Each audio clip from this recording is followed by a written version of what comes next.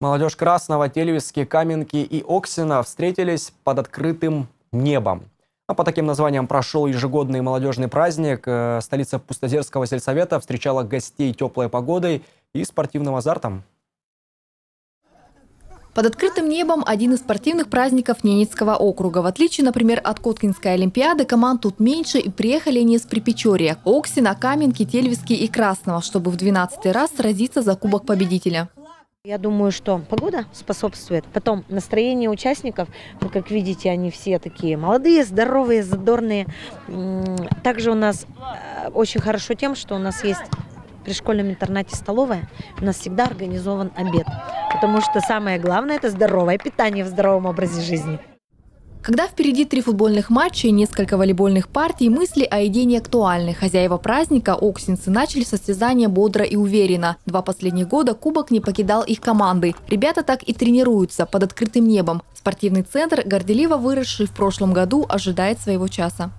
У нас значит, планы такие по этому спортивному сооружению. Это будет или филиал э, Ледового дворца труд, как мы сейчас поступили с Нижней Пешей, или же вот в проекте вообще э, здесь должно строиться здание новой школы. Если реально подтвердятся эти сведения, что школа все-таки будет строиться здесь, то это, этот зал будет принадлежать школе. ФОК намного расширит возможности сельчан. В случае плохой погоды спортивный праздник можно перенести в зал, а также добавить в программу настольный теннис, пулевую стрельбу, баскетбол. Большой азарт в состязание внесла игра «Что, где, когда». Она и стала решающей. По результатам спортивных состязаний лидировали красновцы. Свое преимущество подтвердили интеллектуально. Я, во-первых, езжу сюда уже третий год подряд. Мне здесь очень нравится, здорово. Жаль, что возраст уже все с 14 до 30 лет.